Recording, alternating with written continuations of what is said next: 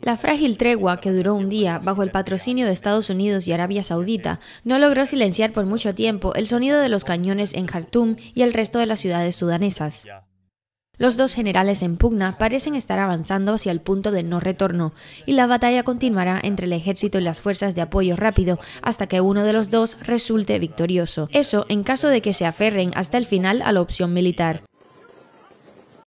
Los violentos combates entre los dos bandos continuaron con armas pesadas en la zona industrial, en el barrio Al-Hala y Al-Rumaylah en Jartum, mientras se escuchaban fuertes y sucesivas explosiones al sur de la ciudad de Omdurman.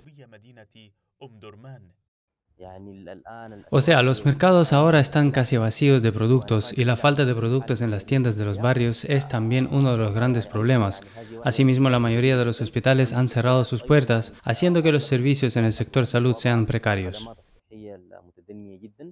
Por tanto, es un nuevo día de enfrentamientos en medio de duras condiciones humanitarias, en una guerra que se teme conduzca a la división de Sudán en regiones enfrentadas y lo convierte en escenario de batallas que amenacen su existencia. Los combates han ido más allá de las fronteras de Jartum, alcanzando varias ciudades, incluida Darfur en el oeste del país, el flanco blando del proyecto divisionista y en el que se formaron las fuerzas de apoyo rápido y donde aún mantienen su foco de influencia.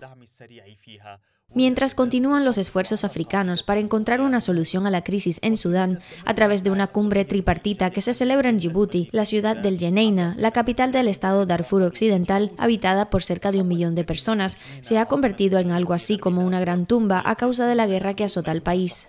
La ciudad, según descripción de la Organización de Médicos Sin Fronteras, llora en silencio ante el impacto de la muerte masiva que amenaza lo que queda de sus habitantes. Se teme que como consecuencia de la guerra, la ciudad ubicada cerca de la frontera con Chad se convierta como el resto de las ciudades sudanesas en destino de terroristas y combatientes extranjeros, similar a lo sucedido en Libia, Siria e Irak.